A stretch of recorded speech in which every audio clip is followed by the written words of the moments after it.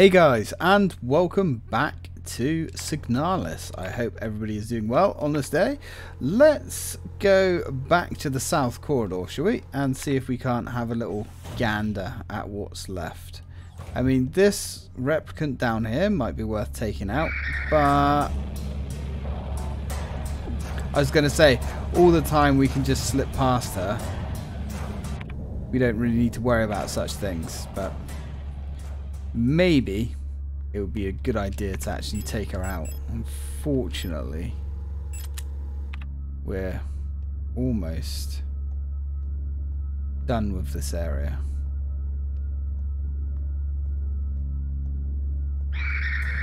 Right, let's run. Hello. How's it going?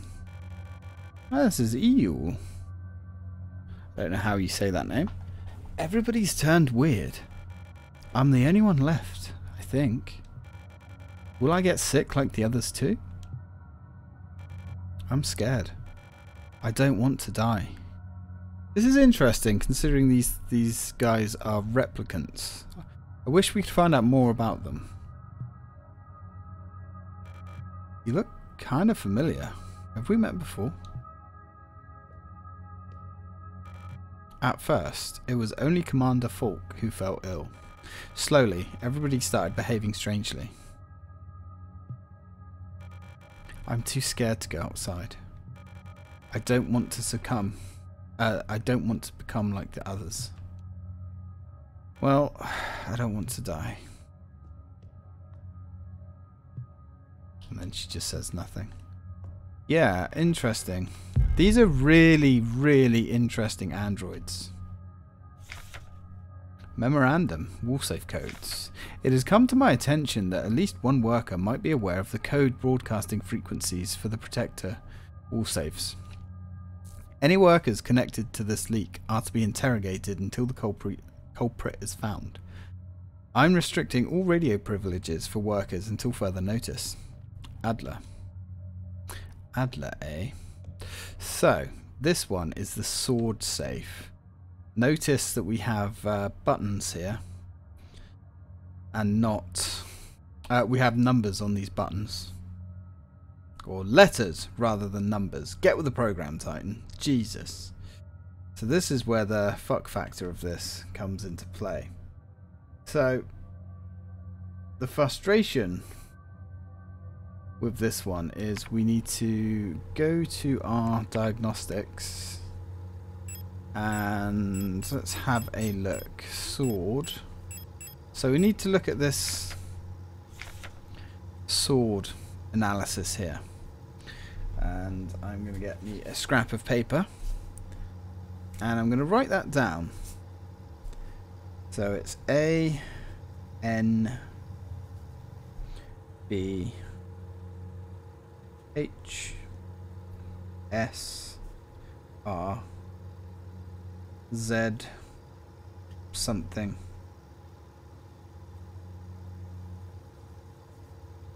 K. E. And on the opposite we've just got one two three four five six seven eight nine zero. Now, obviously, the number uh, corresponding is still the same. It's just the letters that are kind of fumbled up. So what we need to look at is frequencies. This very useful bit of paper here that I didn't find on my first playthrough. That's two, three, three. Now, a lot of the guides that I looked up gave different frequency numbers, which also added to confusion, and they all gave different numbers as well, which was even more irritating. So, what have we got? Five, nine, seven, eight, three, and that was five, nine. 783. So what that means is 5 is S, Uh, 9 is K. 7 is Z. 8 is question mark. And 3 is B. So what we need to do here is go back to the safe. And actually, before we do anything, let's turn our bloody safe, uh, our receiver off. Right, so it was S K Z question mark. Now, what we have to do here is look and see what letter is not actually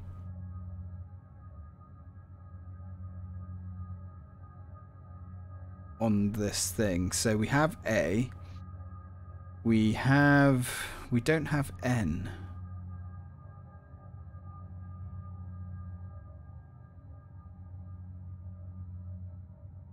We do have N.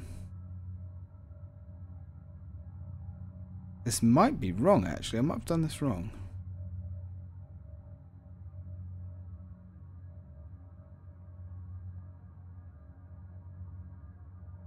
This would be interesting.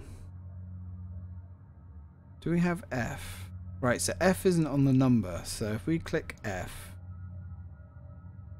and then B. No, that is right. Okay, so this keypad is not what's on the note. But that doesn't matter. Apparently. The note is correct. The keypad is wrong. Yeah, interesting little puzzle that. Definitely a game that encourages pen and paper, and I like that. Alright, what do we got here? So, we have the incinerator room key. And we have the edict module. Now this edict module is kind of interesting. An old photographic memory module. It allows recordings of up to six individual memories. Incredibly outdated, but still might be useful.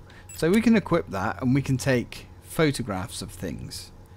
I haven't found a use for that, but I mean it's there, I guess.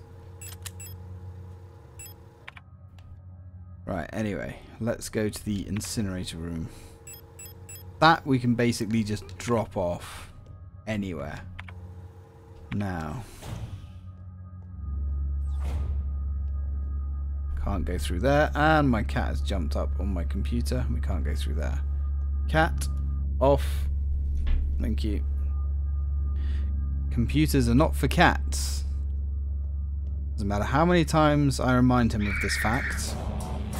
He doesn't seem to care. He just looks at me. He's like, yeah, and what? What are you going to do about it? Prick. Right, let's go the other way around. Let's go the long way round. Let's see if our friend's got up yet. Oh, friend's still chilling. See, it's really strange because sometimes they'll get up really fast, and other times I guess they're just happy to chill out.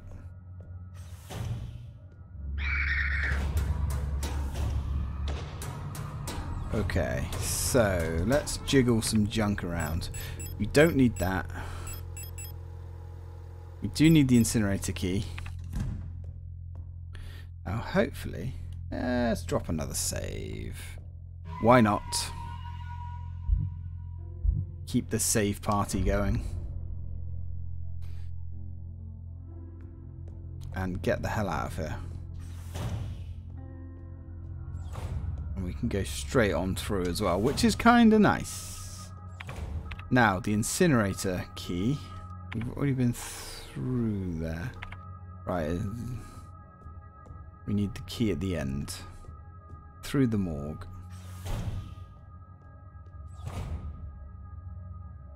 So our friend kind of just chilling. Oh.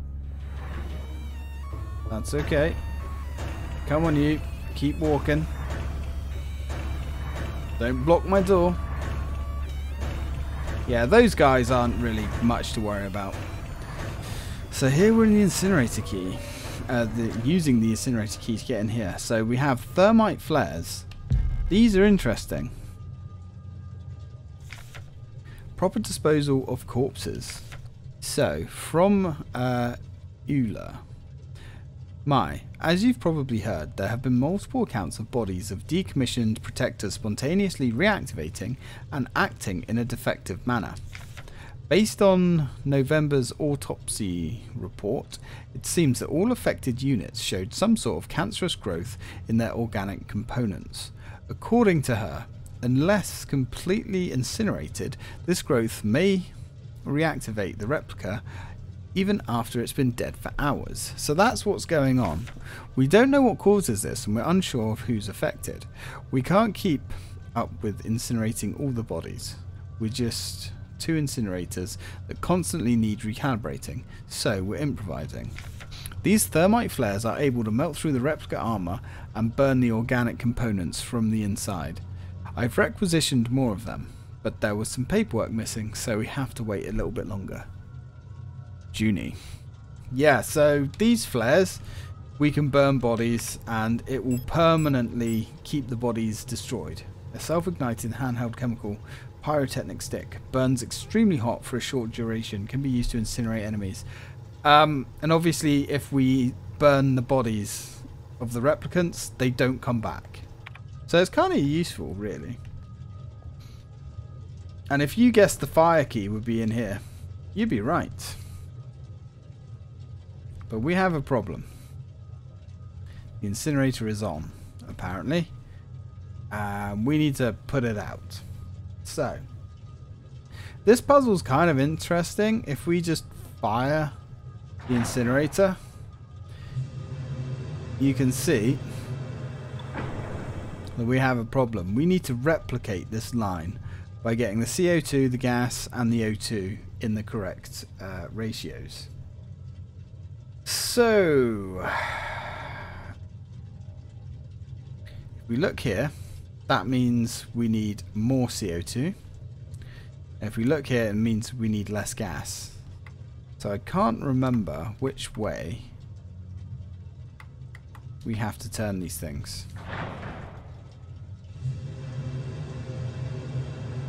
Can't remember which way is which, so we still need more CO2.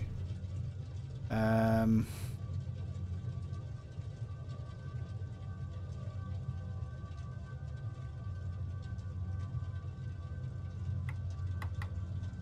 maybe it's the other way. Try that. Is less is is left right, so left is more. So we need to turn this way for gas. Let's say go, I don't know, there. And we need more oxygen. Let's put oxygen like here. See what happens.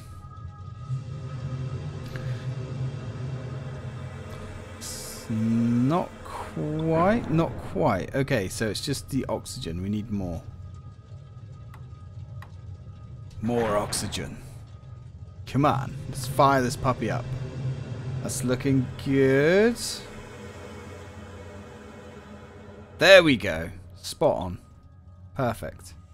So now, somehow, if you get the air mixture correct, that somehow puts the furnace out. I don't really understand how this works.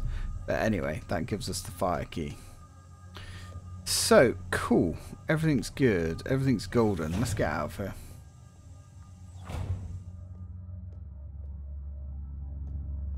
And our replicant friend is still right in the way. Get out of here. We don't want to fight you. But what we need to do now is go put the last key in the slot. And that sounds like a good time. Oh, hi. Hello. That was unfortunate. That was extremely unfortunate. So we've got the fire key. Thermite flare? Um, maybe. Maybe. Oh, come on, woman. Honestly. That's really naughty of you to just stand there guarding that door like that. Well, we made it to where we need to be anyway, so let's throw in the fire key. Excellent. And we're throwing in the fire key. We've um, encountered another save room. What could possibly be behind this incredibly difficult to open room? Lots of ammo. Another save room so soon. Curious. Isn't that curious? What could possibly be a little bit further on? Um, let's drop the thermite. And in fact, we're going to drop the 10 mil. We'll keep the repair patch. We're going to keep the shotgun shells. Grab the shotgun. Gee, I wonder why we're doing this. Uh, the revolver ammo. Now that revolver that's in the x-ray machine, I don't know if we can actually grab it. I'm not sure. So we have shotgun shells.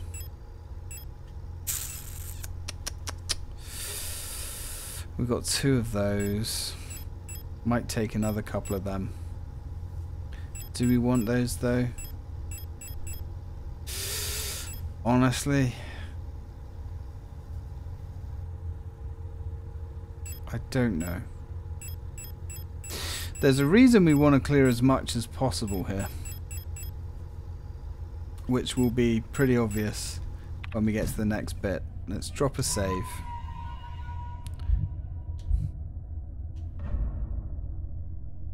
If you guessed, gee, we're about to have our first boss fight, you'd be right. And if you're saying to yourself, gee, I bet the bosses are pretty hard in this game, you'd be right. So, looks like we can drop down. Let's go.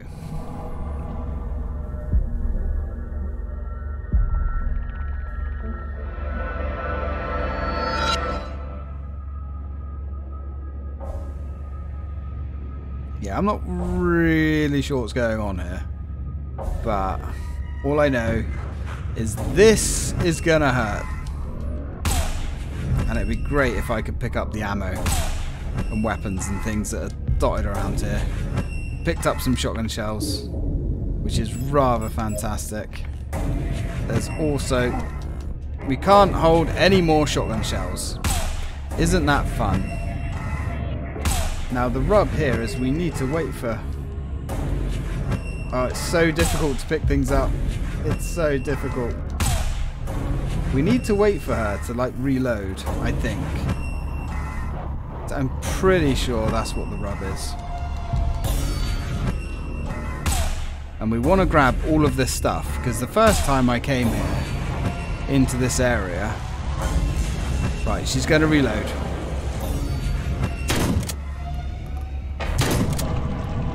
And this is the only time you can actually do damage. Oof. You can't actually damage her outside of that. You have to wait for her to kneel down.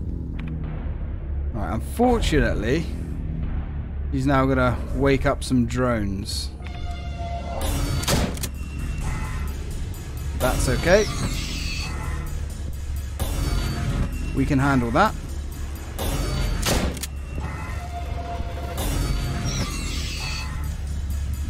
Now it appears that once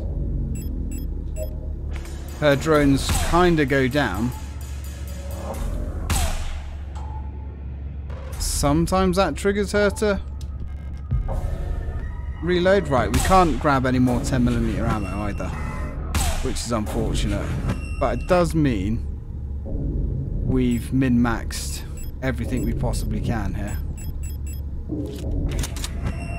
Alright, we just got to wait for her to go down. There we go. Missed that one. There we go. Come on, you bitch. Huh? What do you think of that?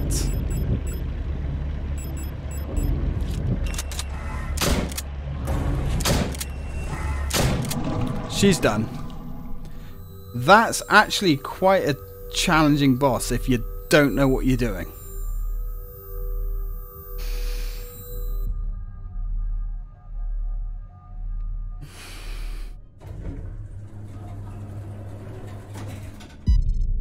Ah, Adler. A visitor. Welcome to our facility. You've caught us at an unfortunate time. How can I help you?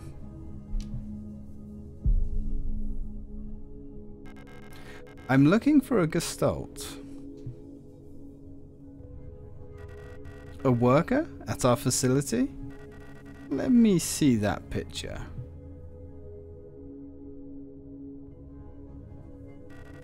Alina Xiao. Xiao, however you say it. I believe she's one of our factory workers. However...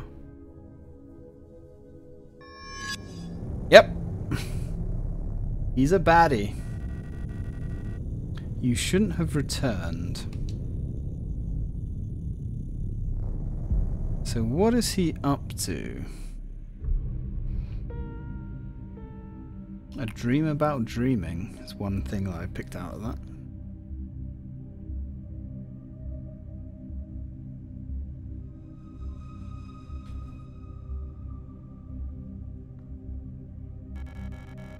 I I must have fallen asleep whilst waiting for Erika. Did she already go home without me? We wanted to get some books from the library together. I should check, see if she's still there. So whatever planet we're on is freaking cold. And it looks like um, our friend got her wish and she actually uh, transferred to a proper school in the city. So these are kind of like memories or something. I'm not I'm still not 100% sure what's going on in the story. It's really weird. It's a little bit pretentious, but the game itself is good.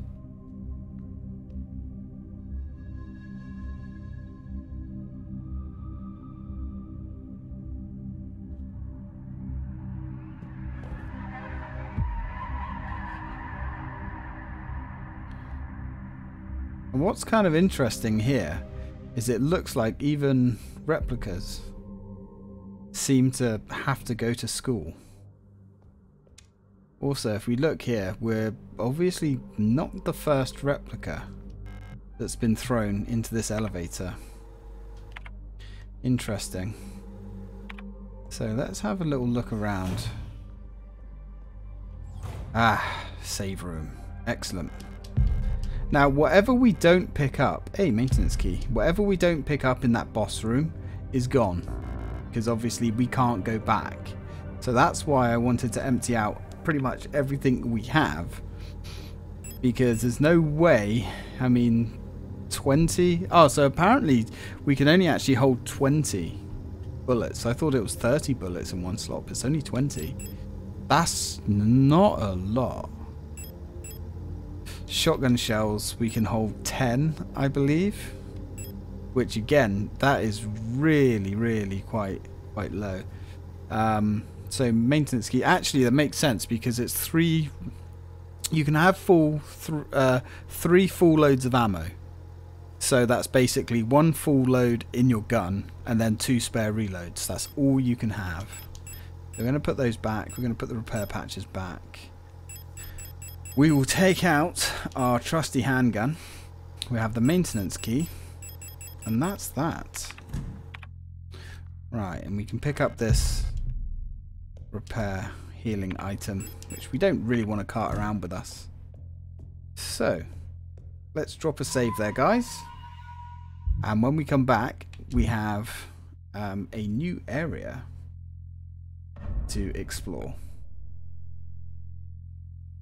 We're in the protector area now, which is probably an indication of uh, rough times ahead, to say the least. But thanks for watching, guys. And as always, till next time.